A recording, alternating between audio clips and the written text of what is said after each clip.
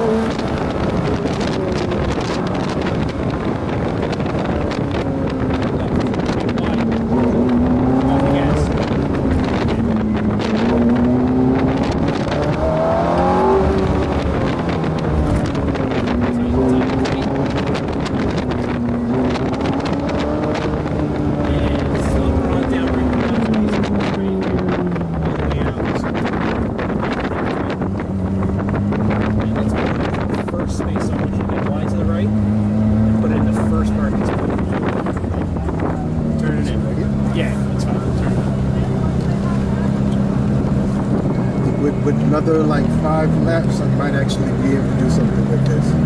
Yeah, so, well, that's the Lamborghini next time. You're good. Right? And mm-hmm. now turn the wheel all the way to me one more time. There you go. Grab both paddles, give them a flip. And engage the handbrake for me. So, what are you doing, the Lambo next? Mm-hmm. Okay. That one. You already know the course. Mm-hmm.